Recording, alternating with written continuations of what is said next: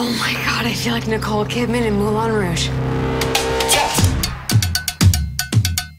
I'm Emily, Emily Cooper. How did you get so lucky to move to Paris? Oh, I work for a big marketing firm. I'm kind of the uh, American point of view. And how do they feel about that? Don't stop. You'll be fine.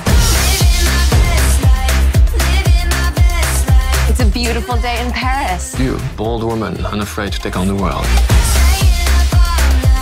This city is filled with love and beauty and passion. Living my best life.